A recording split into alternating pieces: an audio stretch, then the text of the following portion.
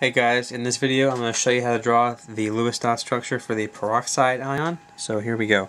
Uh, peroxide is going to be O2 with a negative 2 charge. Okay, That's going to give us uh, two oxygens each with 6 valence electrons plus 2 more electrons for the minus 2 charge for an overall total of 14 valence electrons. Okay, can subtract out the largest multiple of 8, which is going to be 8 in this case, which leaves us with 6. Divide that by 2 gives you 3, and 8 is equal to 8 times 1, meaning that this is going to have an AX1 E3 type shape, central atom, one peripheral atom, three non-bonding pairs of electrons on the central atom, okay?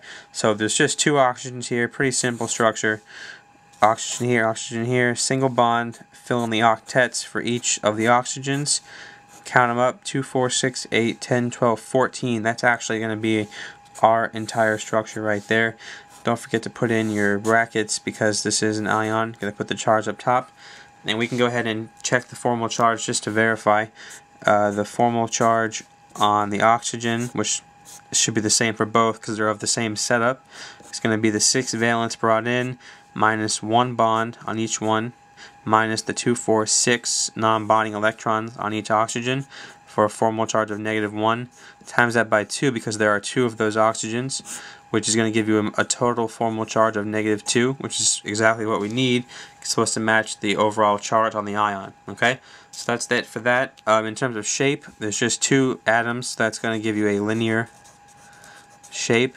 Uh, in terms of hybridization, looking at each of the oxygens, there's one, two, three, four um, electron groups or possible bonding sites.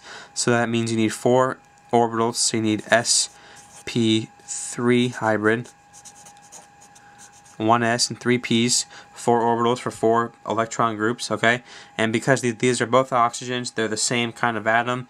Their polarities will cancel out, meaning that this is going to be a non-polar compound. Okay, that is pretty much it for this one. If you have any questions, let me know, and thanks for watching.